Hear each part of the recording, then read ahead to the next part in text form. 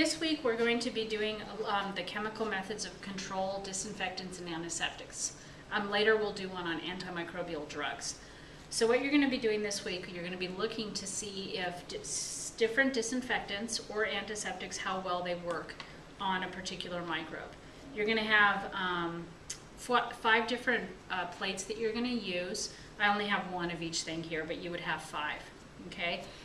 Um, we're going to be testing disinfectants and antiseptics. You want to keep in mind that disinfectants are things that are used on surfaces or like your floor, your table, your toilet, things like that. They're not meant to be on or in the human body.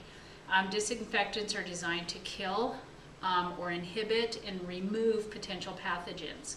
Um, bleach, alcohol, um, all things like that are disinfectants.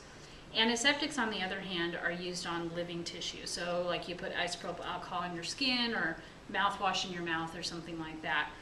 So, we want to test the effects of these. Now, I also would like for you, if you want to, to bring in something from home that you normally use as a disinfectant, especially if it claims on the bottle to be a disinfectant or an antiseptic, or you could bring something that's not and see how, how big of a difference it is. So, um, what you're going to do is, like I said, you'll have five plates and each plate is going to have a different microbe on it.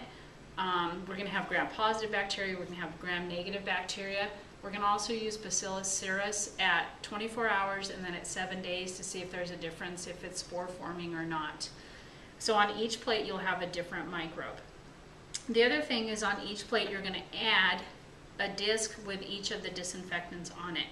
Now, we don't have the color-coded disc that it mentions in the lab manual, we only have white ones. So you're not going to be able to code them. So you'll have to write on the plate what they are. And so you'll want to divide the plate up into fifths. And I'm not sure if you can see this or not, but to divide your plate into fifths, just do an upside down Y and then lines between those two parts there. And then you can write the name of the disinfectant, hydrogen peroxide. Then you can write the name of the disinfectant on that particular zone, okay? You would also have labeled your plate with the name of the bacteria that you put on it and the name of your group. Okay? Now this time is going to be a little bit different than what we've done in the past. We're actually going to inoculate the plate with a swab instead of with a loop. So what you're going to do, I'm not going to flame the swab. Okay? What you're going to do is you're going to take your your uh, bacteria that you're putting on the plate. Like I said, you'll have five of them, but I just have one here. Using your sterile technique, you're still going to flame the tube. You're going to go down there and pick up the bacteria. You want lots of it. And this time when you do your plate, instead of making a line or just one part, you're actually going to cover that plate. So if you just keep turning it and turning the swab, going in different circles, back and forth, different directions, the idea here is to make what's called a lawn of bacteria. You want every single millimeter of that plate covered in bacteria.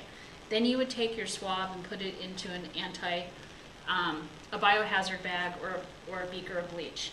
The swabs will either be in containers like this where they've been autoclaved or they'll be in single, um, single wrappers, okay? If they are in single wrappers, take it out, use it, don't put it back in the wrapper, throw the wrapper away, and put the swab in the anti, um, in the disinfectant jar or into the bag, okay? Now, you're gonna have four or five beakers of disinfectants, and they'll be labeled. Um, this one's alcohol, but you'll have alcohol, bleach, hydrogen peroxide, um, iodine, and then if you want to bring a fifth one in from your home, you could use that one also.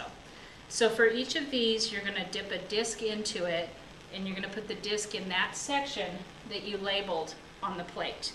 Now in order for us to do this, we want to do it as sterile as possible. So what you're going to do is you're going to take, you have little beakers of ethyl alcohol, and you're going to dip your tweezers or forceps in the alcohol, and then you're actually going to flame them. Okay, so you're actually sterilizing the um, forceps, whatever they're called. And then you want to grab one of the little discs after it's cooled off a little bit. I'm not worried about sizzling bacteria this time, I'm worrying about burning the disc. So after it's cooled off some, or mostly, you're going to grab one disc, and they're kind of stuck together, so try to get only one. Okay, and now I'm going to dip this in my disinfectant. That was the alcohol I used for the flaming. I'm gonna dip it in my disinfectant. Ooh, it's still hot. Did you hear that?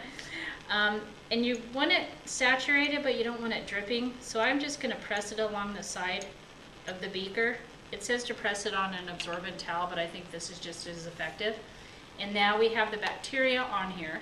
So we're gonna put the disc on this section that was labeled for that antibiotic.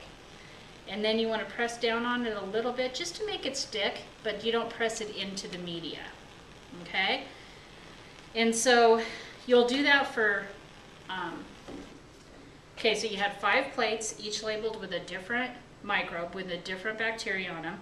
And then on all five plates, you're going to put your four or five disinfectants, the four that we have in class, and then if you wanted to bring a fifth one. Okay? So they have five plates with four or five disinfectants, but each plate has a different microbe on it. And then the second class period, so this will go over two class periods.